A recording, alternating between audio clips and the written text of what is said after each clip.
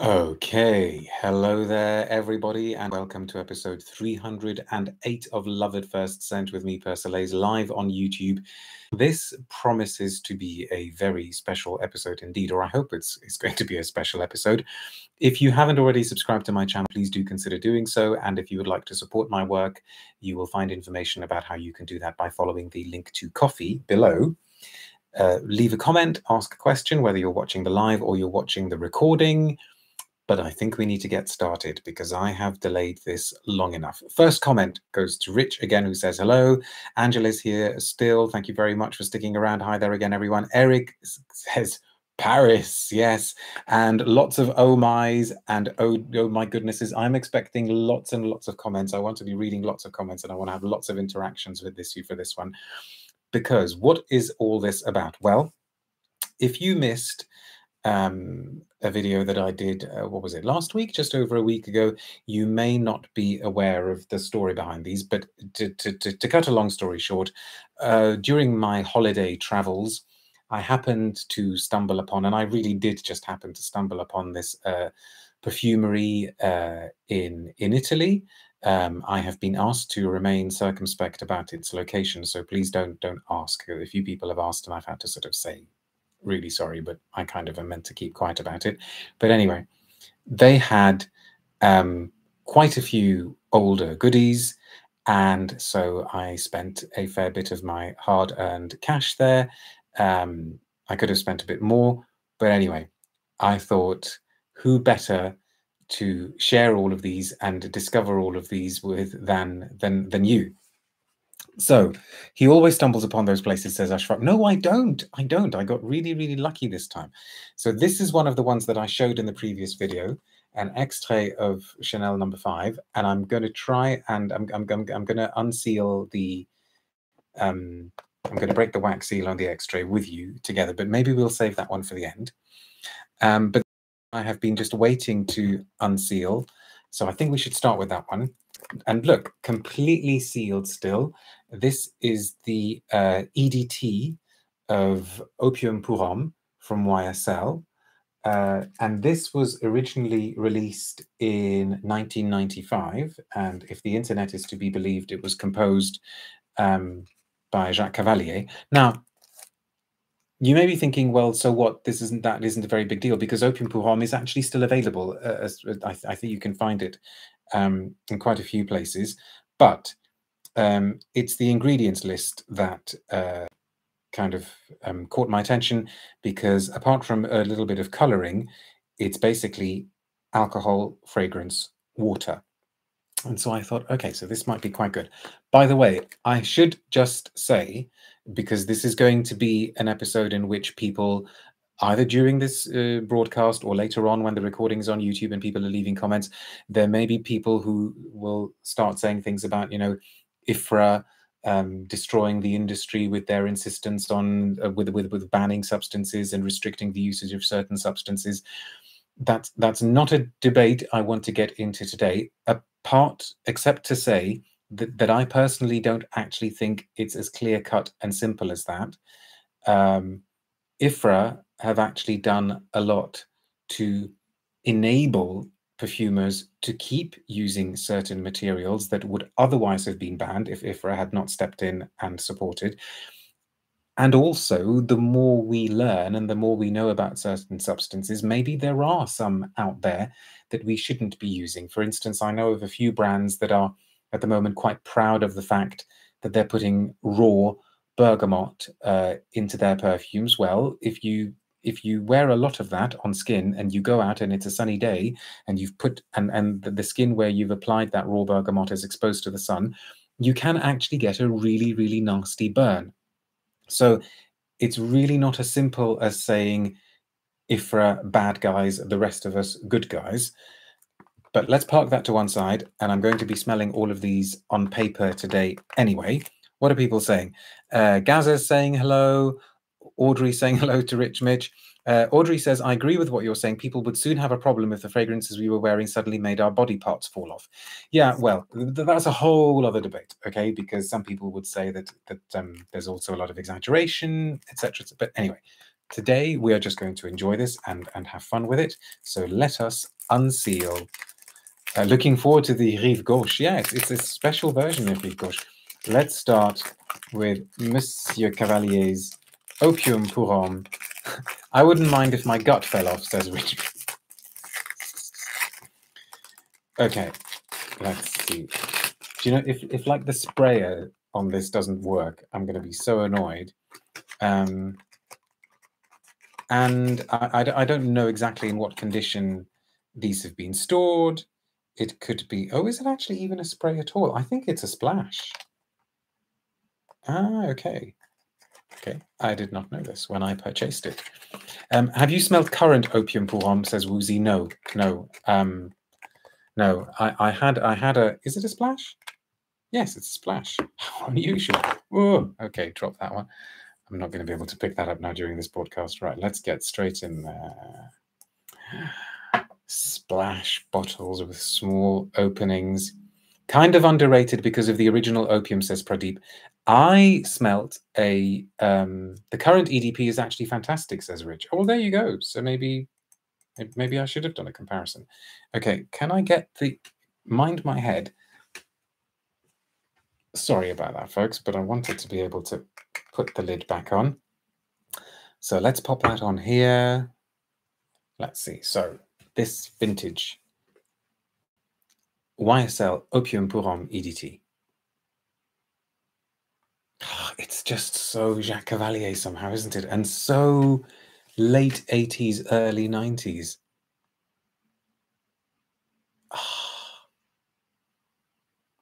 Very, very nice. And actually seems to be in pretty good condition. It's it it's reminding me quite a lot of um, also Jacques Cavallier, uh, YSL Rive Gauche pour Homme, except that that one is a kind of hairy-chested fougere, whereas this one seems to be a, a hairy-chested, ambery, resinous scent.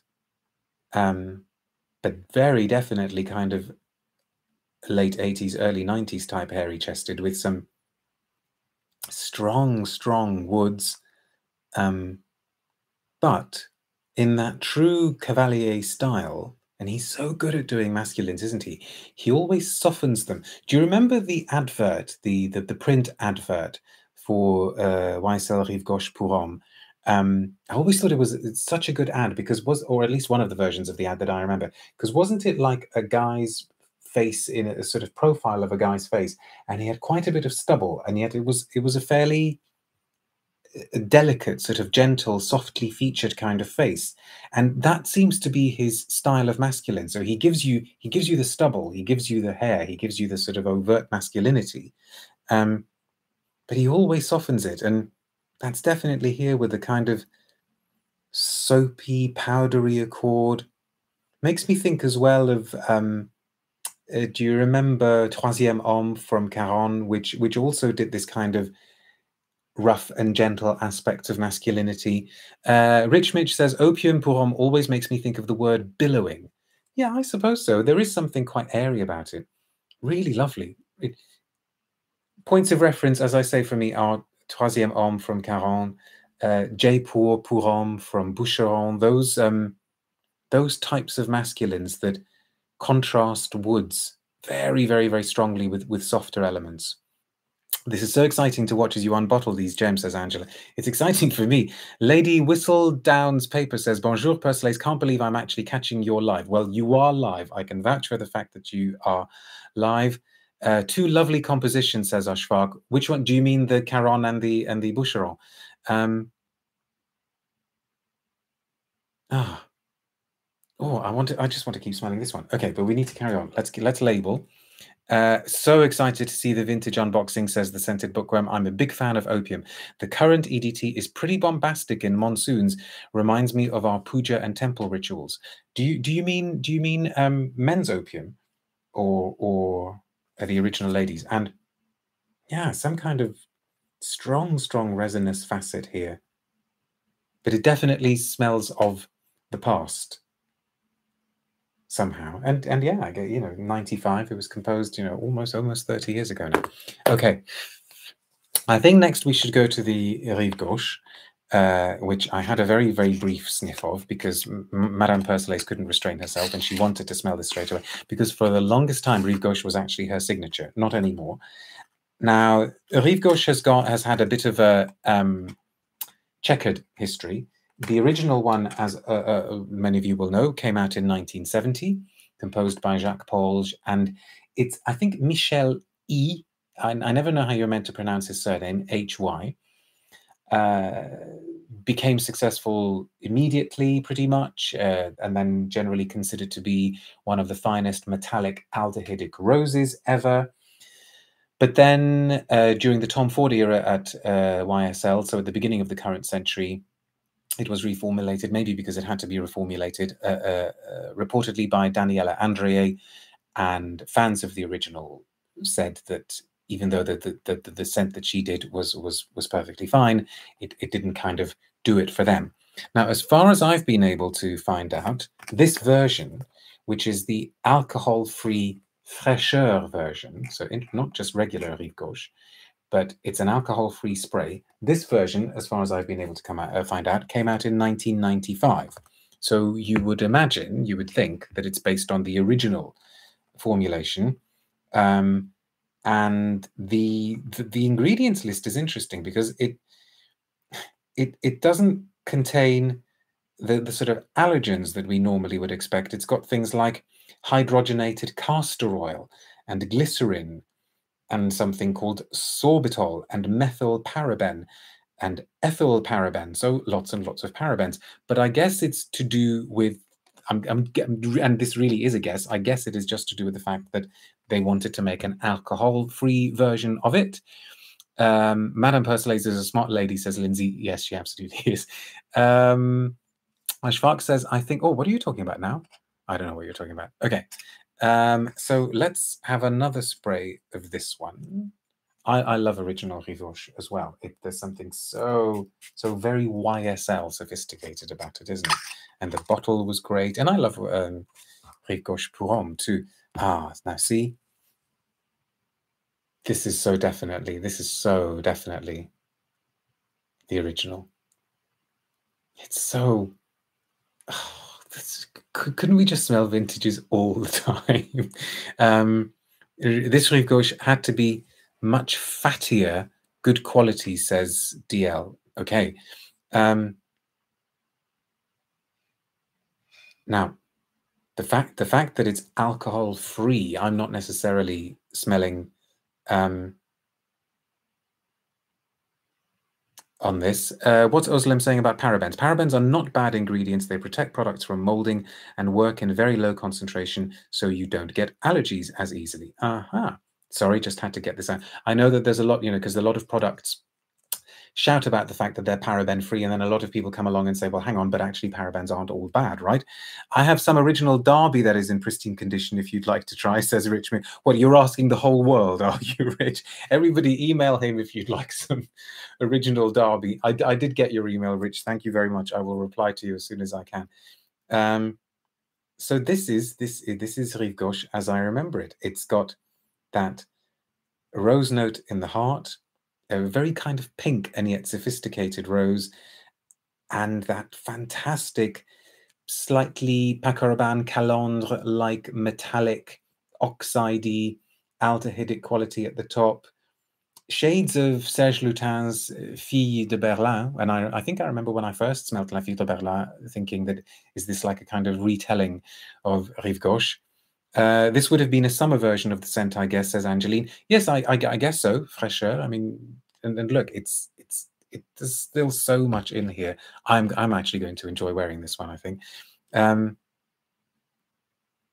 and why is it that I think it's so 70s? Maybe maybe there's something about that metallic quality because of scents like Calandre, because of maybe the, the, the greenness of it do you know what it's also making me think of? Another fantastic piece of work, uh, Comme des Garçons 2. So not two man, but the, fir- the, the, the first Comme des Garçons number two uh, with the rose oxide note. I mean, that was um, superb. This is, this is, this is, this is just so Paris somehow. Um, Really, really fantastic piece of work. Oh, I'm so pleased that both of these are in good condition. Really, really good condition. Now, things get really interesting. So let's have a bit of a tidy up because we may we um may start getting a little bit messy here. So you just talk amongst yourselves for a second while I put away. Uh, let's just do this. So I've put that one away. Now this was in the shop and I had no idea what it was. Okay. Yves Saint Laurent, Maison de Couture, Eau de Parfum, 60 mils. I uh, ingredients, ingredients, alcohol, fragrance, nothing else. So you can imagine I was immediately starting to get um, interested. Uh, will you divulge the prices? Says Smarks. Well, I'd rather not exactly, but rest assured, the, these were these were totally affordable. I mean, you know, I was like thinking. I mean, okay, in total, I had to part with a bit of money, but um, for each individual item, um, yeah, they, they were they they were affordable. They were very very easily affordable.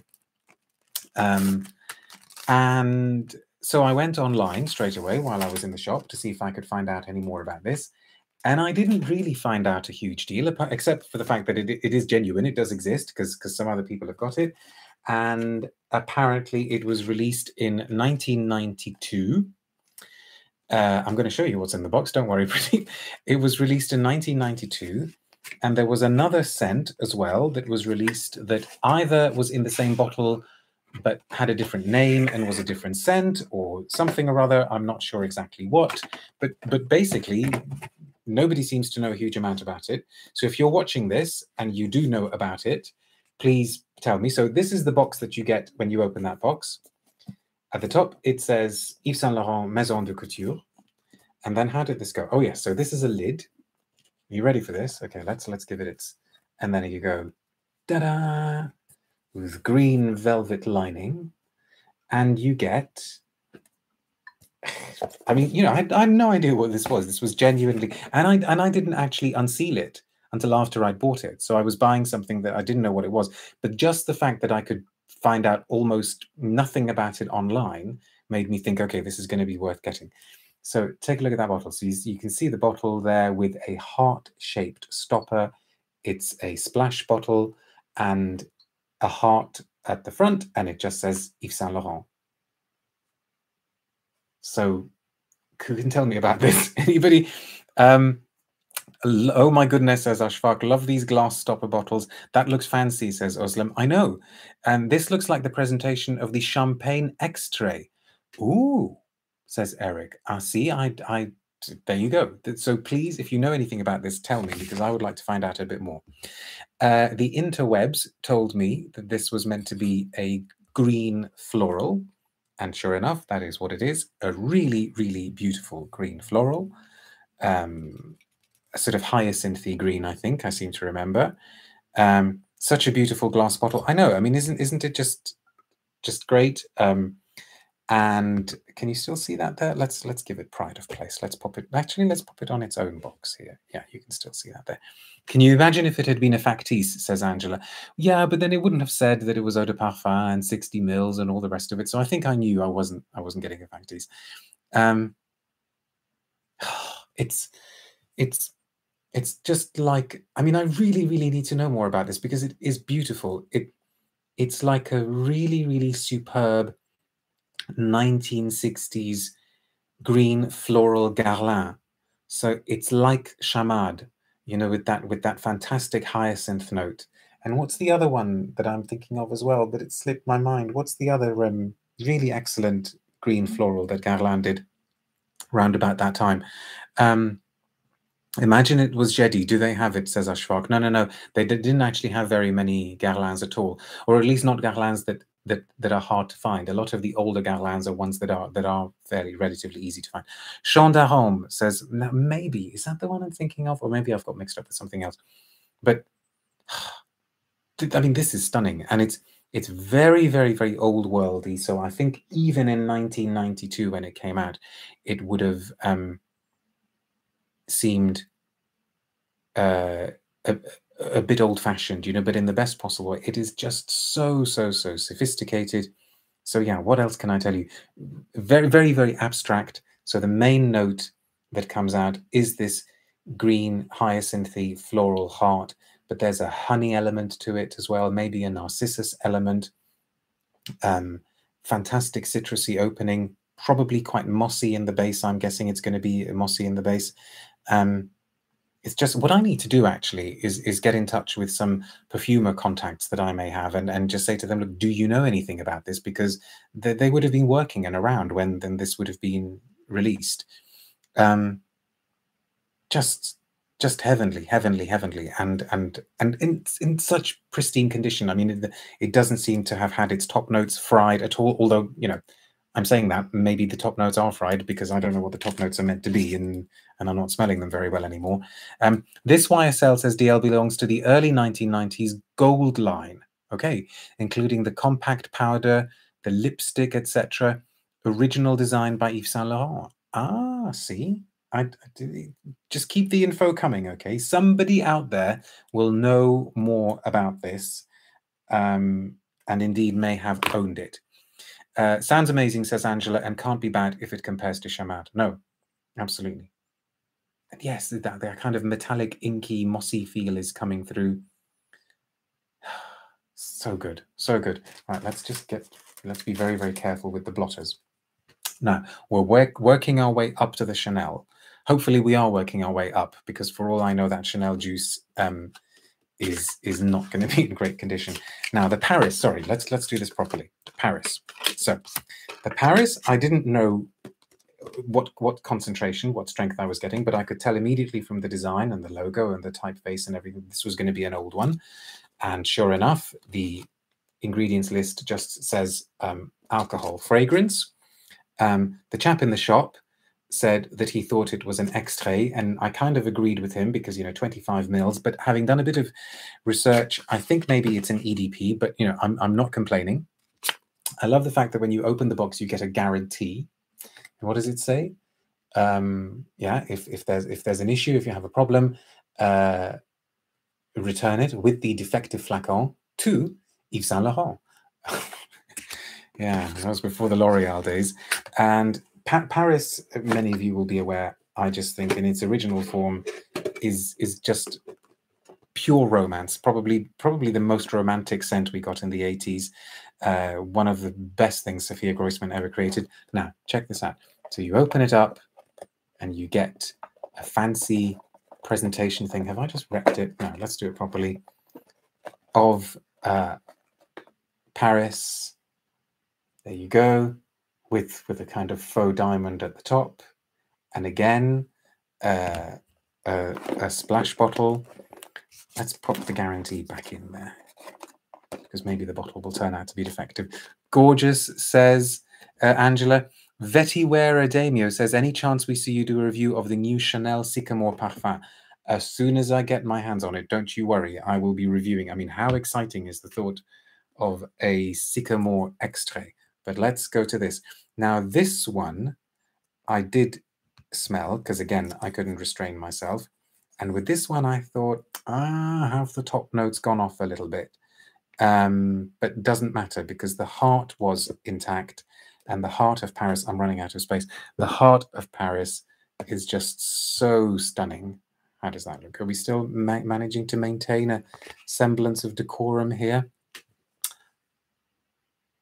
Right. So the top has just turned. It's just it's just a little bit like you know wine that's been standing and getting aired a little bit too long. But immediately, immediately, that that rose of a thousand petals just come rushing, just comes rushing towards you. I mean, this is this is one of the most romantic, swoon-inducing, heartfelt, joy-bursting roses ever. I mean, it really, really was like a homage to whatever Yves Saint Laurent would have chosen to make it a homage to, and he chose to make it a homage to Paris and his love of Paris. And you can really, really just feel love and adoration and joy bursting out of every facet of this scent. And then Sophia Grojsman's trademark use of musks. She used to, she used to structure her fragrances around huge, huge, huge blocks of musks in the base, and her scents tended to be quite linear. I mean, it was a style that she made extremely successful. Um, and it worked. It worked. Um, and you know, smelling it now, I kind of think, gosh, did this smell kind of dated and slightly vintagey in the 80s as well? Um, and I, and I can't remember. I mean, people wore Paris to death. Uh, I think my even I think my mum wore it. Um, and and there's that lipsticky quality to it as well. You know, similar to Lancome's Trésor. Um, and maybe it's that lipstick violet facet that actually made it feel a little bit more modern then. Maybe that still didn't have such a retro vibe to it. But it's it's really, really rich, juicy, almost like a cross between a rose and raspberries. Yeah, once you get past that those dodgy top notes, this is this is this is in pretty good condition. I remember this, and Paloma Picasso says Cynthia from my mother's vanity, beautiful roses. Yeah, Paloma Picasso was another really, really good chic, wasn't it? I remember when that came out. Um, Angela says, I had a friend who was extremely chic and it was her signature in the 80s. Ah, she must have smelled really good. Um, this is, see, I'm going to sit here and smell this all day as well. So nice.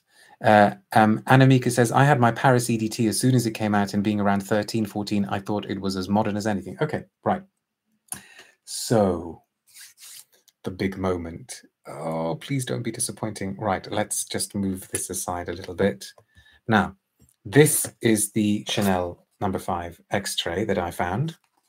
Actually, two bottles, the original flacon and a kind of dabber flacon that has got some juice in it. Um, I need to try to date this properly. But as I said in the other video, the, the style of this logo here uh, the the proportions of the cap in relation to the rest of the bottle, thinness of the cap, the fact that it doesn't say parfum and just says just says Paris, the fact, and I really don't know if you'll be able to see this because yeah, because it won't zoom in well enough, but the logo on the wax seal is just a single letter C as opposed to the double C. These things apparently suggest that this could be from the 50s, but somebody out there will know better than me. Should we do this? Right. I have, I'm, I'm, I'm, you can see that the wax seal is there. And, and I almost don't want to do this and keep it intact. But then I kind of thought, no, no, no, let us release the juice that has been, um, been in this bottle since forever. So let's do it. Let's do it. Oh, actually, am I going to be able to do it? It's very stiff. Perfumes are for wearing, says Rich. Yes, they are, as long as you can get into them. this is going to be terrible if we can't actually get into this one. And I haven't got anywhere near me any scissors or anything like that at all. Right, so, seen any good films lately? oh no, it's like got completely fused shut. Right, let's come on, come on, come on. Come on, Persolaise. Not hitting the gym enough, says DJ. I know. Shocking wouldn't want it to snap. Oh, okay. I think we got something then.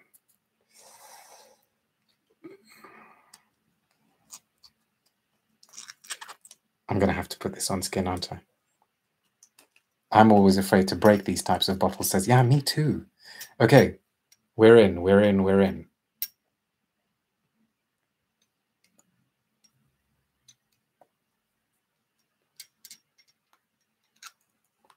Please be good. Please, please, please, please, please be good. Right, are we ready?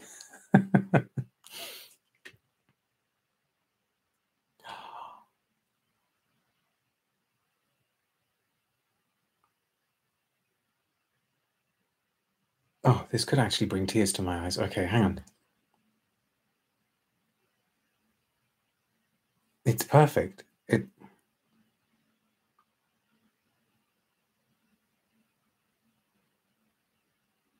Wow. Sorry, I'm just like completely overwhelmed by this now. Um,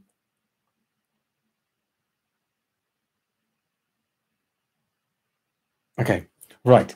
Speak, connect, connect thoughts with words. Um, right. So yeah, it's it's Chanel number five. It's recognizably number five. Um, but those aldehydes, I don't think I've smelt aldehydes or I've smelt the Chanel number five out, has been so, so soft. There's something so, so, so gentle and plush about this. And actually, it's similar to the thought. Sorry, it's similar to the thought that I had when I tried a little bit of the liquid that's in the dabber on my skin, because already the, the, the rose and the jasmine are coming through, but they are really, really rich. They're really, really voluptuous, and voluptuousness actually is not a quality that we would normally associate um, uh, in Chanel number five. I mean, I love number five, as you know, it's one of my favorite scents of all time, but I see it as being um, quite kind of streamlined. I don't know if streamlined is the, is the right word, but not not voluptuous. You know, something uh, sort of more um, clean cut. Yeah, maybe streamlined is the word that I'm looking for. Less weighty than the kind of weightiness you would associate with the word voluptuous. Um, but this is this is this is this is impassioned. This is this has got blood, blood pumping through that rose and the jasmine, and dare I say it, you know, the, the quality of the sandalwood maybe is coming through already, which kind of seems to be giving um, giving the whole thing weight and I so I so wish you could all smell it. Ah, I really, really wish you could all smell it. I'm going to put some uh, onto a blotter so that we can do a, proper, uh, a proper blotter update um, and also talk about how it's developed on skin. Um, not blood, but other juices extracted from animals, says Smarks. Well, maybe, but but maybe Chanel number. I mean, I suppose Chanel number five might have had some civet, but what else might it have had an from animals? I don't know. I don't know. It's a good question. It's a good question. Um, need to get a vintage number 19, says DJ. Yes, I've got a vintage 19 that I got from Japan, and it's really, really wonderful. Um,